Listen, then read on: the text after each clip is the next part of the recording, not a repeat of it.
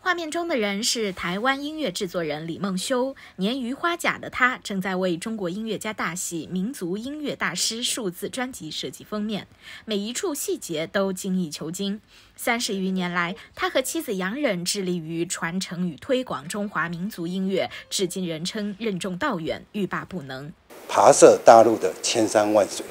寻访宗师与名家，我们录制了，将近。一百张国宝级音乐大师的专辑，内容就是器乐篇与合奏篇，这前后大概有一千多首。我们做下去之后，就发现这件事情的意义非比寻常，嗯，所以我跟李先生只能够欲罢不能。李梦修原本在台湾从事流行音乐工作。一九八九年，三十出头的他被中华民族音乐文化所吸引，便立志传承和推广民族音乐。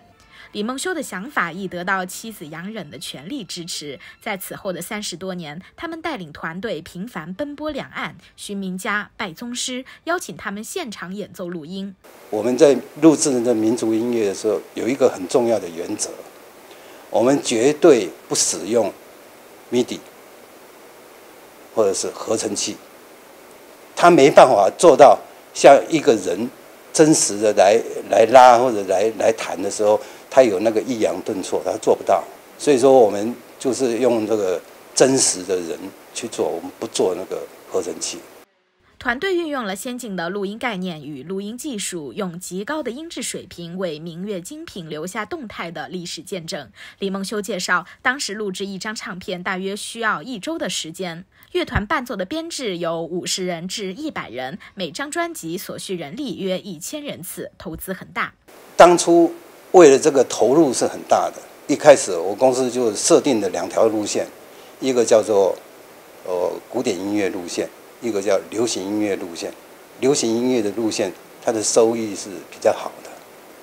收益比较好。我们并不是拿来花，我们是拿来培养、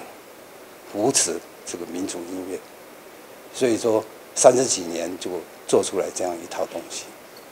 截至目前，李梦修和杨忍已制作完成逾百张各流派国宝级大师的专辑，收录逾千张乐曲。岁月流转，大师相继谢世，这些脍炙人口的乐曲得以抢救，永久流传。杨仁主要负责专辑的文字整理、编辑和翻译工作。他用中英文为演奏家、指挥家、乐团、乐器以及曲式分析等编辑详尽的介绍，只为听众细尝中国音乐宝藏。努力来做这一套音乐的时候，我们就希望它是一套中国民族音乐的百科全书。而且它是可以在世界上、在国际间广为流传的。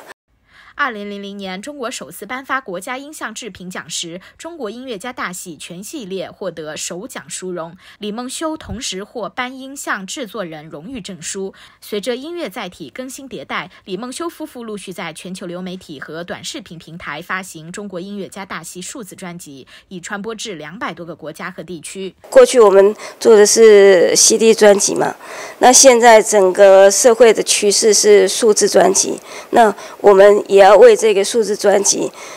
继续的往前铺路，让他们有机会跟我们新一代的这些朋友们见面。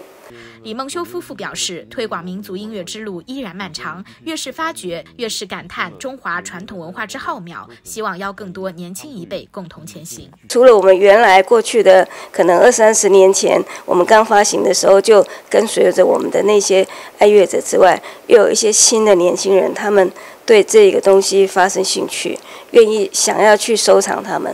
这个也是我们现在在继续出这些东西的一个动力之一。